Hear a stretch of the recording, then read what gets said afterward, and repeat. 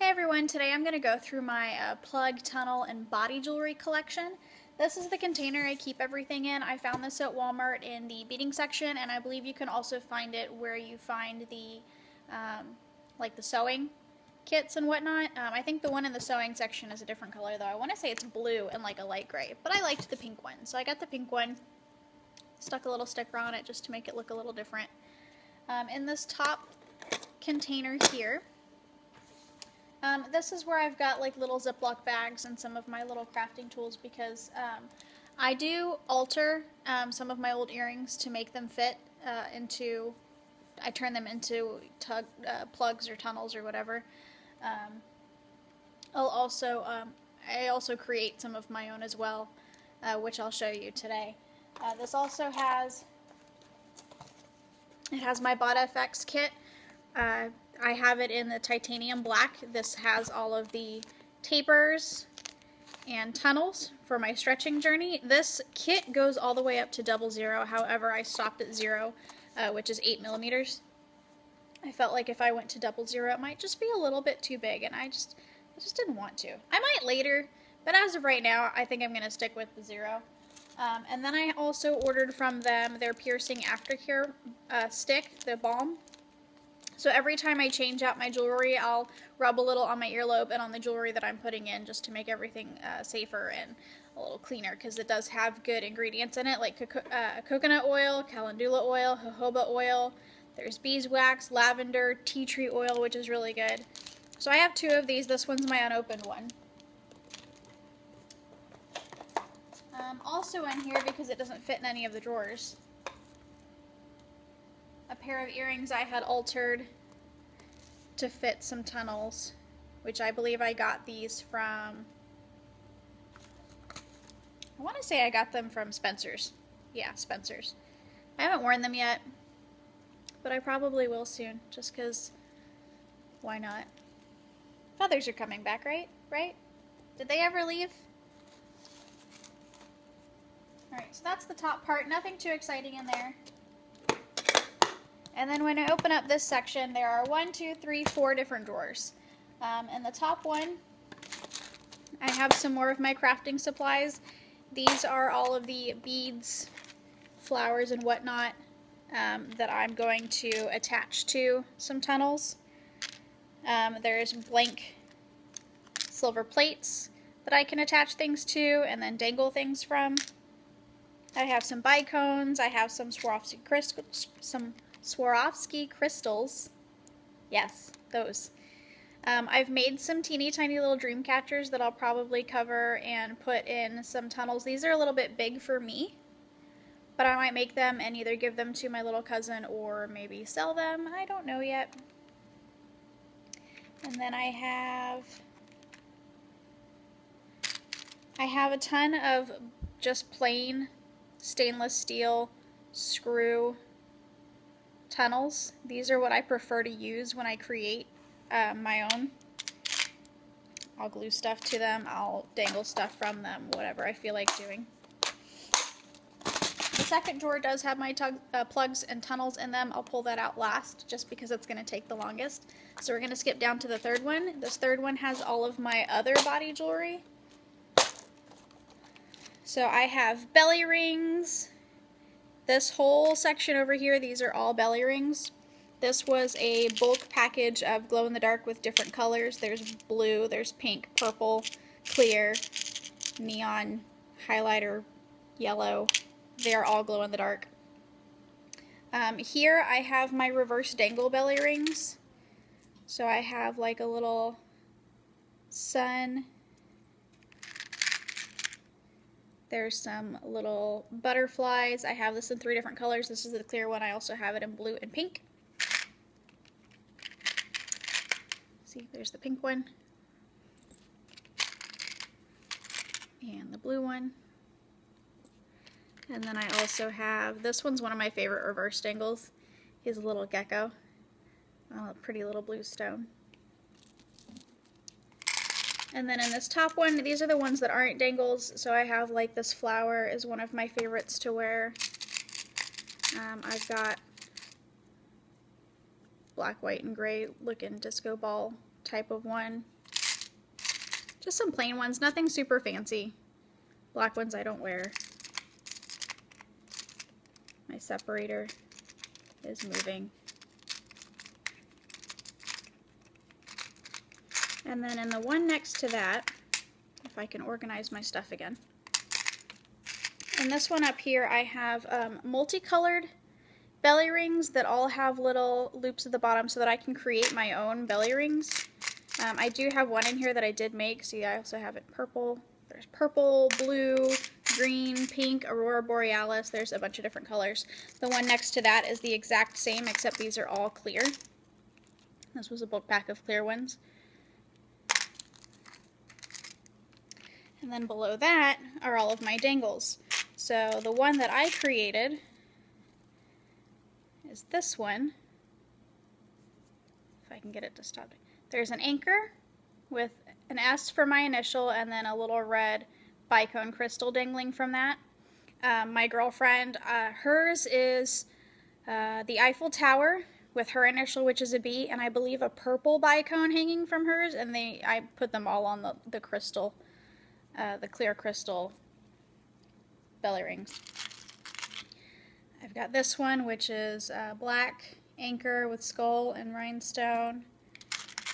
This one is massive and heavy, so I don't wear him very often, but he's pretty cool. Skull and crossbone with pink crystals. And then I have another anchor. You can tell I like anchors.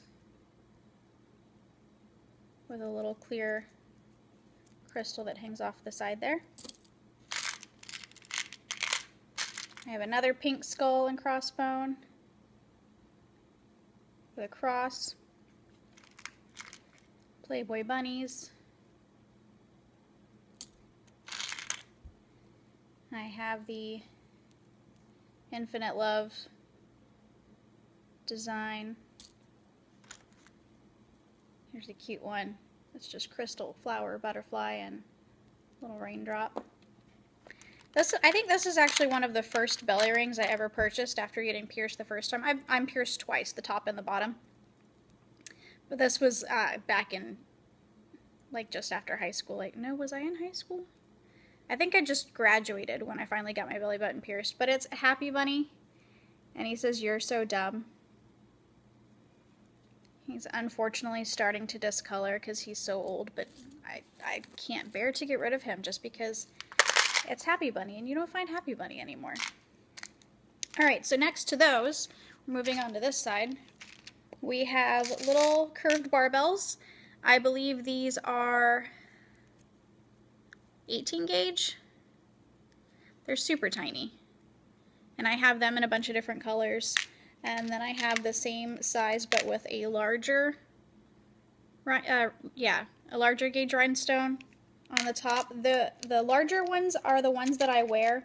Um, I wear them on the bottom part of my belly ring, belly button belly piercing, belly button. Yeah, that. Um, because the top part I wear like the dangles and stuff, and then the bottom one I'll just wear the little ones, just because they don't they don't get in the way. Otherwise, I've seen people wear like they'll wear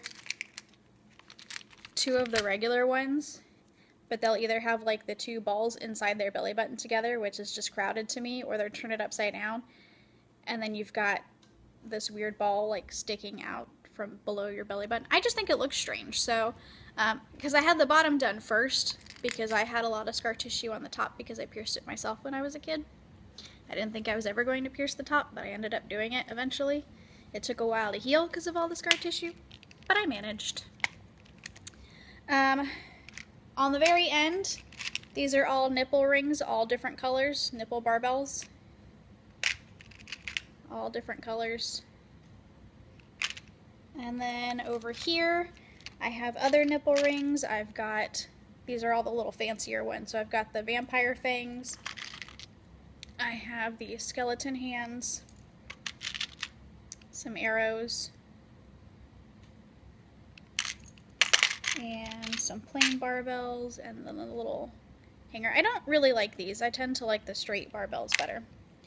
And then next to these, I have these two little containers. One of them are nose rings they're just I've got just a I've got a loop in today, but usually they're just plain little ball studs. There might be some rhinestones in there. I don't tend to wear anything fancy, so those are just plain with the um, screw. I don't like the bone or the L.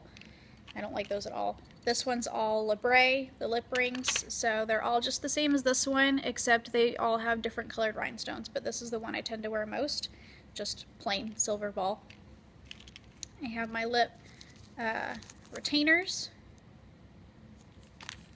And then I have these ones. These are, I like the shape of them. These are lip rings. I like that it's straight on the bottom and then it comes and curves to the top so it would just hang over your lip. It would hug it nicely. However, I, they don't fit my lip. And I think if I had been pierced in the center here, they probably would have fit me nicely. But over here, they're just way too big. So I don't really know what I'm going to do with them just yet. then I have some 14 karat gold nose rings that I do not wear because I don't wear yellow gold. And then in the center I have,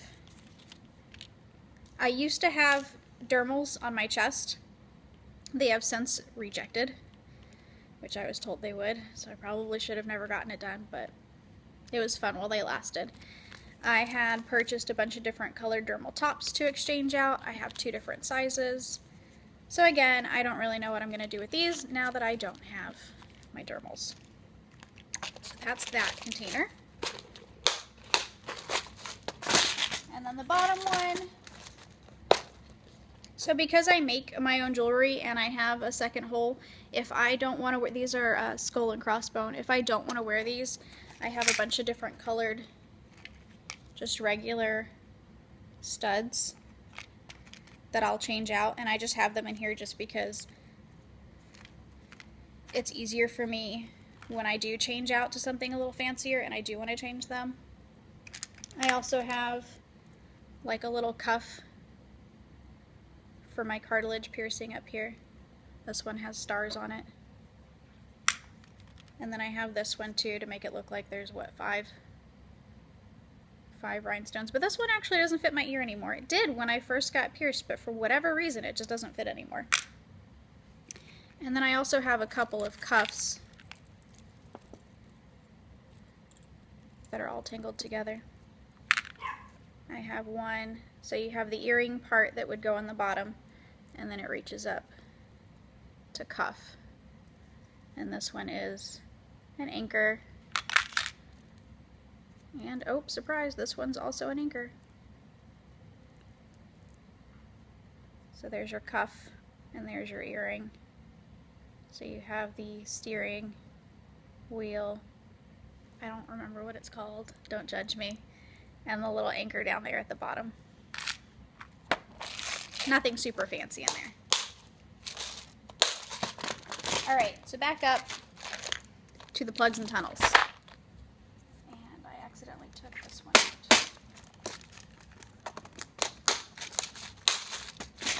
Alright. This is the fun part. All of my plugs and tunnels. Okay. So, starting up here in this top part, these are all my squishy little silicone tunnels. I'm wearing the clear ones just for the sake of the video so that I can show you all of the other ones I have. Um, so I have these in a bunch of different colors. There's white, black, blue, pink, purple, baby blue, red, this neon highlighter, yellow I guess, yellow, green, um, below that, I have more silicones. These are the silicones that I don't tend to wear just because they're larger and I don't like them as much. But I have it pink, black, and this god-awful white one. Clear. White. It's supposed to be clear. It's not very clear. But I hate the way that this one's made. I don't like it at all. And then up here, um, this was a bulk pack of a bunch of different acrylics. And I'll pull out all the different colors for you so you can see them. There are translucent, there are opaque, and there are glittery ones. Yeah, I think that's all of them. So I have two opaque colors. I have white and I have black and white. And then there are translucents. There is pink. These are all double flared acrylics. This is supposed to be purple, but I feel like this is very pink still to me. Like fuchsia, I guess, which is pinky purple. Whatever. I have green, blue, and then this one's called Smoky, but it's brown. Let's just put it out there. I'll probably never ever wear these. They're brown. And then they came with glittery ones. Uh, there is this interesting golden blue one. Then there's straight gold. There's light blue. There's green. And then my favorite ones to wear are the purple. And then next to those, I have my slightly fancier ones. These are all screw back. So I have the clear rhinestones. This one's the darker colored metal. I also have it with the clear rhinestones with the silver, as well as the silver with the blue rhinestones. And then I have, these are screw back as well, stars. I wore these for the 4th of July, and I'll show you later the um, dangles that I made to wear with them. I also have, these are screw back as well. These are acrylic with rhinestones. And then these are double flared anchors. Double flared. And then on the end of the top row, I have, these were earrings that I really like that I turned into tunnels, or I guess at this point they're plugs, because you can't see through them. And then I had some leftover beads from a jewelry kit that I made a long time ago. So I threw them together and made a set of tunnels. These are technically tunnels. You can see through the backs of these. These I like that these are kind of antique looking. I've only worn these once. I don't have a lot that these go with, but I really like the colors. All right, so then the next one, next row, the middle row, I have some plain stainless steel tunnels that have the screw backs. I have more of the silver. I have a couple that I have in here just because I don't want to put anything on them. I just want to have plain ones to wear. I also have them in the rainbow as well as in black. Next to that, we start my stones. Um, this first little box, they are all single flare with the O-rings attached. I think I've got them all. Oh, one set that's not, one set that's double flared. So I have one set that's double flared in there. This is the blue spot jasper. And I also have it in the single flare with the O-ring. I have the, which this is called Jade Adventurine, so it's jade green. I have amethyst. I have blue turquoise. And I also have red turquoise.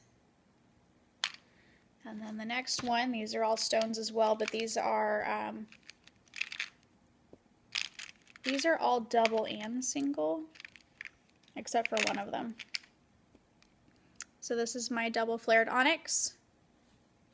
I also have single flare onyx. I have a single flare white jade, which I really like. They're not very opaque. They're kind of, what is that, translucent? Because they're not transparent. And then I have a white howlite double flared as well as a single flare. These are all pairs, by the way. I don't have any singles of anything. And then we get to some of my favorite stones in here. Let me get all these out. Okay, so in my single flare, I have double, or yes, single flare. This is opalite, and I have it in double flare as well. And then this one's probably my ultimate favorite out of all of the stones. This is the single flare. This is called Midnight Goldstone. You can hopefully see that there's almost like glitter in it. So they're black with this really pretty shimmer to it. And then this is the double flare in the Midnight Goldstone. I love these. I'm obsessed with them. I've got like extra sets of those just in case I lose one. And then in the last one in the middle row, I have these white ones with like this black tribal design tunnels, double flared tunnels. And then I have these ones which I purchased at a good portion of these I purchased at uh, Spencer's. However, another so like half of them I probably purchased off of a, a website that I get bulk from. So these are black filigree screw back tunnels, which I like on their own. However, I added dangles to them just because I thought it made them look a little fancier. And I, I wear these a lot when I dress up. Below that, I have turquoise ones that I made with dangles. So again, there's that screw back tunnel that I turned into a plug. And then we go to my additions that I've created. So, I have, now all of these that I'm going to show you I can attach to either single flare or screwback tunnels or plugs. So I have these ones that I, these were Halloween earrings that I altered. Little skull and crossbones. This is another pair of Halloween earrings that I altered. I have a matching necklace and bangle bracelet that goes with this. These are my Christmas snowflakes. These are another pair of fancy ones that I like to dress up with. These have uh, pearls as well as bicones, bicone beads. Uh, I have some stars. These are not the ones that I wore for the 4th of July. Those The stars that I wore for the 4th of July, I actually made. These were earrings I altered. And then for my kitty cat Halloween costume, I have fish bones. Now for all of the ones that I created, I am actually going to kind of show you how they look when they're hanging on a tunnel. So I'm going to grab my silver rhinestone tunnel. Uh, these are my Valentine's Day set. All of these ones that I'm showing you now, I've cre I made all of these. I also have matching necklaces for all of them, and some of them I have bracelets for as well. But these go with my Valentine's Day set. And then I have my St. Patrick's Day. Which these will probably go really good with the jade. Here are the ones that I wore for the 4th of July. If I can get them kind of untangled. So these went on the stars. So these were attached to these. And what I like about having these as a separate attachment is I can either have them in front of the lobe or I can put the tunnel on and then put them in the back of the lobe before I screw the back on. Which usually I like wearing them from the back. I think they look a little cooler. I also have these, which I think might look good with the light blue rhinestone tunnels. I also have, these are my handcuffs with red, white, and blue bicones.